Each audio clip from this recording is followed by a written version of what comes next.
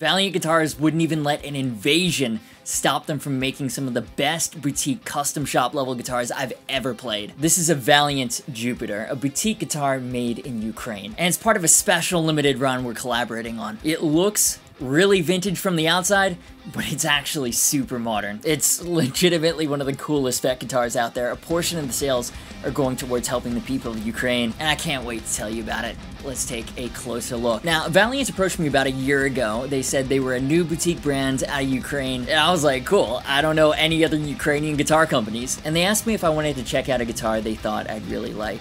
That was a vintage spec Valiant Jupiter, and that guitar ended up being my guitar of the year. It was so good that when I let Chris Robertson of Black Stone Cherry try it, he didn't even plug it in. He played a couple chords and he was like, yeah, I'm buying this. And he's been putting it to good use in their live sets, which is super cool. He's one of my favorite guitarists, favorite songwriters, and was more than happy to let him have it. But that guitar was so good. I've had a Jupiter-sized hole in my heart ever since. And that's how originally this came to be. It's got the features and the worn-in feel that makes the Jupiter an extraordinary guitar. And this one has a few special modern spec changes that make it a truly outrageous custom shop quality Restomod style guitar. Now, they were in the middle of building it when their home was invaded. They hit me up and were like, hey, uh, so small problem, the area near our workshop got hit by a cruise missile. I'm like, what the are you okay? Um, yeah, we're fine.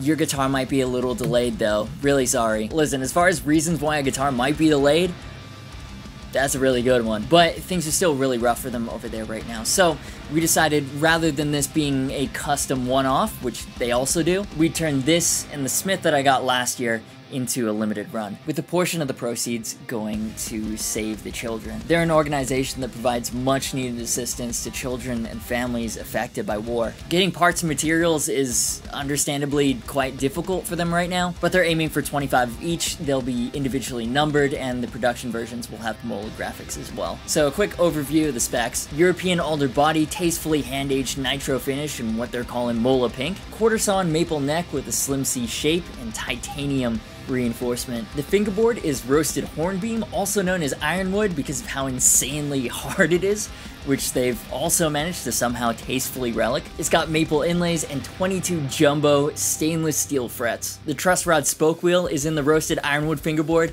which is pretty damn cool. It's got D'Addario locking tuners, Graph Tech nut, and Tusk string trees. Kind of funny, the rest of the guitar is relics, but then the Tusk stuff is super clean. It kind of stands out, but it's so small. We move. Bare knuckle polymath pickups with aged covers that can be individually split or put in parallel using the Jaguar style switches. Love that on a normal 25 and a half inch scale instrument. And one of my favorite Valiant features, the hardware, the control plates, the ebony inlaid control knobs, even the side dots, it's all made of duralumin, a material usually reserved for aviation applications because of how strong and lightweight it is, but crazy Ukrainians, they've used it everywhere on this guitar. We've got bell bronze saddles, and the shell pink, I mean Mola pink, I love it, especially with the matching headstock. So yeah, a lot of exclusive, unique, boutique features. It's a huge sleeper guitar. I mean, look at it, and then think about the specs that I just listed. Insane. So the way I like to put a guitar through its paces is by writing something. See what kind of riffs it inspires. If it inspires good riffs, it's a good guitar. So let's plug it in, get some tones, get some first impressions, and write something cool. But speaking of writing something cool, the cool pre-written segue to today's sponsor, DistroKid, or more specifically their new premium tool, DistroVid. Now, you've heard me talk about DistroKid before. They're the easiest way to get your music onto all the major platforms, Apple Music, Spotify, all the other ones I'm blanking on that matter just as much. DistroKid takes all the hard work out of it, uploading is just a few clicks. If it's a cover, they'll even get the license and they don't take a cut. You keep 100% of your earnings. And a big reason as to why I and so many other people love and use DistroKid is that they're musician focused. They're constantly improving the service and adding features, evolving with the landscape to serve the modern artist. And to that point, they've just released a new premium tool, DistroVid. It's the easiest way to get your music videos onto all the major platforms, and they don't take a cut. You keep 100% of your earnings. Essentially, it's DistroKid for music videos. DistroVid members get included with Vevo, which means the official Vevo watermark on YouTube and access to Vevo's distribution network, including Roku, Samsung and LG smart TVs, Comcast, and much more. Pricing for DistroKid starts at just 20 bucks a year for unlimited uploads. For you guys, if you use my link in the description, you can snag a bonus discount. Plus, it supports the channel by letting them know that I sent you. So, if you've got music to show the world, DistroKid is the way to do it. And while you're making that smart choice, let's get some first impressions and write a demo track. Alright, let's write something.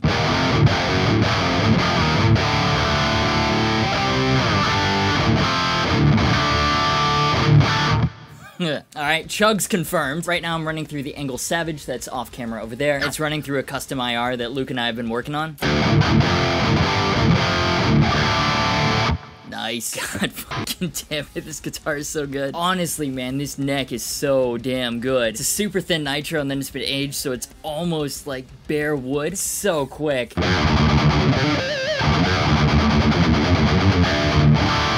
I love how they've aged this fingerboard, man. Even Fender's custom shop doesn't do that. Kind of funny, when I got the first Jupiter, I thought that the deep fingerboard aging would have an effect on the playability. And then this one I've given stainless steel frets.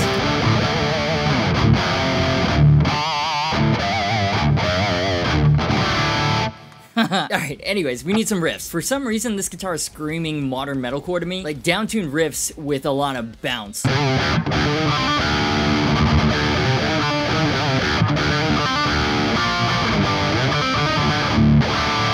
Okay, use the drop to put this into C. Nice. I've been listening to a lot of Polaris recently, and they do this thing with tapping in the riffs that I really like, so maybe... Uh,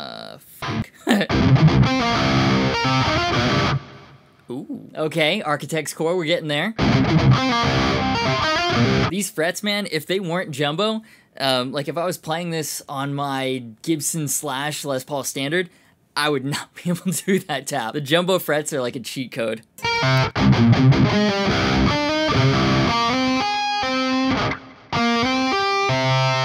So, all together.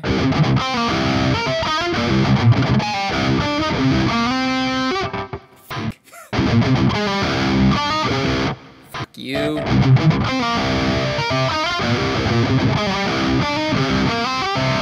Okay, upper fret access on this thing is actually quite good. The neck heel is subtle. It's got this bevel before a more aggressive carve, and your hand just kind of fits in that bevel. It's very comfortable. And then I guess we can go back to the first repetition, but move it down. Yeah, something like that.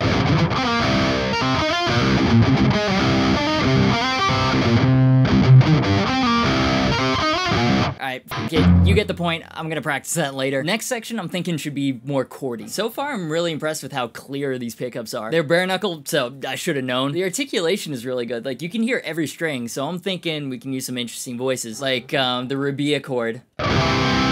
You can hear every string in that.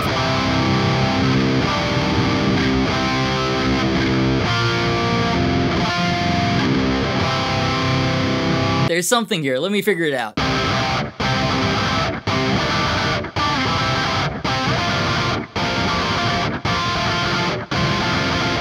Okay, okay, okay, I think we have something here. And then I can have some sort of tappy lead over that.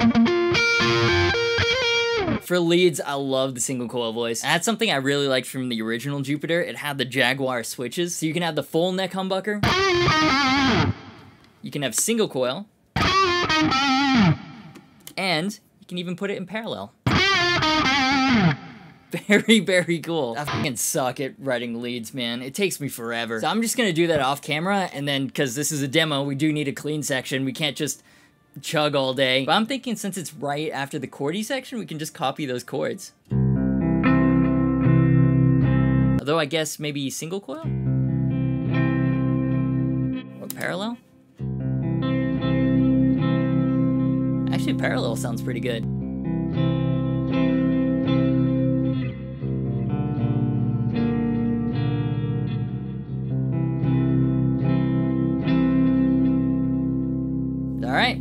Done. Back to the fun bits. A breakdown. And what do we do in modern metalcore for breakdowns? That's right, we double it with the lower octave. So instead of we have Oh, that's filthy. Actually, for writing, I'm to take that off and then double the chugs with the octave down later. Let's also take the Jimmy clip off. That way I can bend after the nut. We're going to use every modern metal breakdown cliche in this. Oh, no, no, no, no. We're going to do trading guitars. So both guitars go, then one guitar goes, then it all comes back in for the third one. Okay, let me see if I can get this. So it's...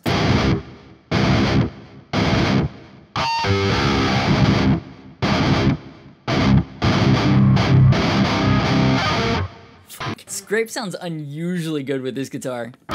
And then for the second repetition, something I learned from Andrew Baena, if you really want to make your breakdowns sound extra disgusting, use a ton of dissonance. So if you have one guitar chugging on the zero, have the other guitar one semitone up. That extra dissonance makes it extra filthy, which is of course what we want from a breakdown.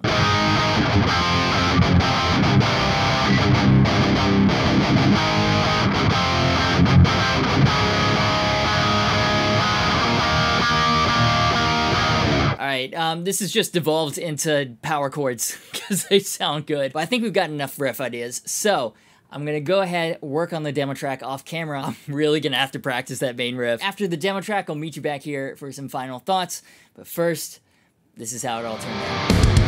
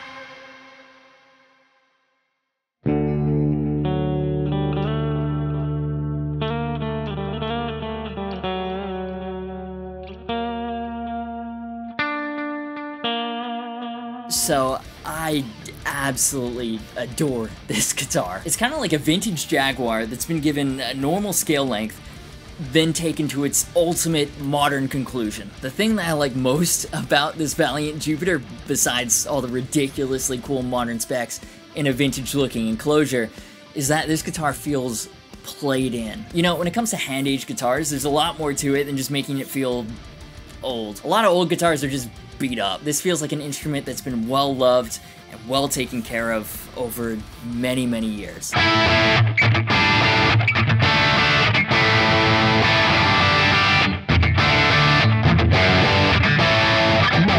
The way the neck feels against your hand, the way the fretboard feels under your fingers, it's insanely comfortable and warm in a way that new feeling guitars aren't. Then it's got jumbo stainless steel frets that feel like playing on glass. Guitars in this price range, it's expected that they play themselves, and this definitely does, but for me what makes it special is it's got the perfect combination of vintage and modern feels and then of course modern functionality as well. And genuinely, it's not something I've found on any other guitar.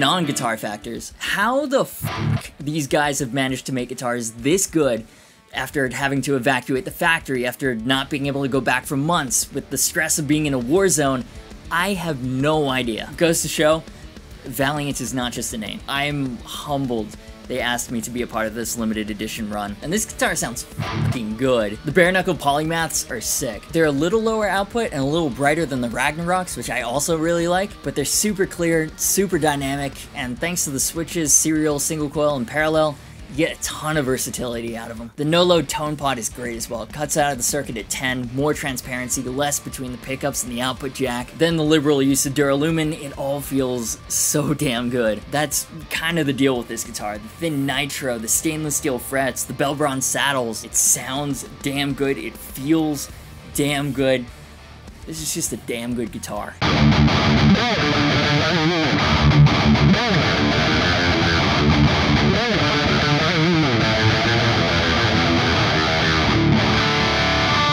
Not cheap, I know, but compared to other custom shops and other high-end boutique builders in this insanely high quality bracket, you're actually getting more here for your money than you would from a lot of those. And no one's really doing the Restomod thing like this. Right now, Valiant is asking for a $110 pre-order deposit, 50% when the guitar is finished and shipped, the other 50% only after 30 days of receipt, to make sure you love it. Because, yeah, for this much, you want to make sure you love it, and they want to make sure you love it. Pre-order links to both this and the Mola Jupiter down below. It'll have all the specs and details about the limited run. Valiant social media will also be in the description. Um, I know they'd very much appreciate the support.